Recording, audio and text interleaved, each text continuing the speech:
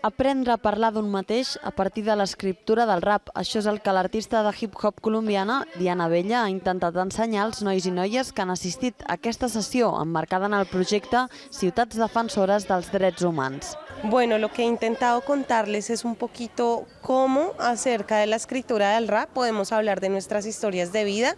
y sobre la importancia también de basarnos en la historia de vida como un eje transformador de la vida de otras personas, para contar cómo podemos determinarnos, cómo podemos ser mejores personas también, pero sobre todo el rap como es una herramienta para transformarnos a nosotros mismos y transformar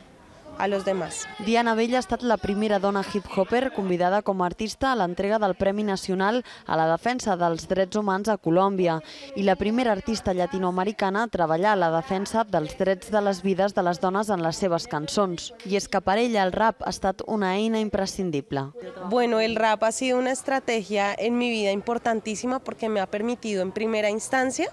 eh, evidenciar que las mujeres tenemos una voz que debe ser escuchada y a la vez poder narrar las historias de otras mujeres que de pronto no tienen la habilidad o la posibilidad de utilizar el rap como una herramienta para, para expresarse. Abella ha posat en valor el projecte de ciutats defensores dels drets humans i ha lamentat que només es faci aquí. L'artista ha explicat que caldria exportar aquest projecte arreu del món per dialogar també amb els joves de Colòmbia, el seu país d'origen, i de la resta de països del món.